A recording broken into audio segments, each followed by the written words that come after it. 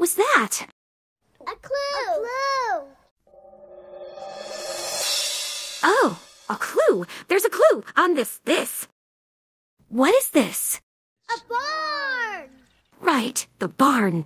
Yay. Now what do we do? Notebook!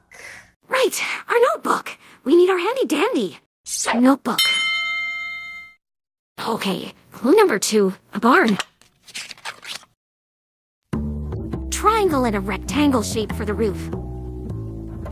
A couple of lines for the barn. Rectangle door. And the silo. We have a barn.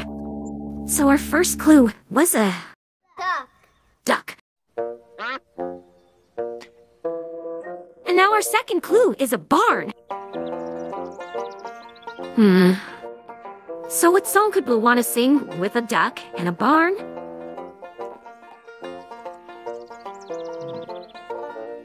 Think we need to find one more of Blue's clue.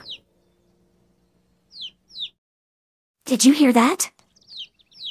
Oh, oh, it's that little chick. We almost forgot about her. Come on.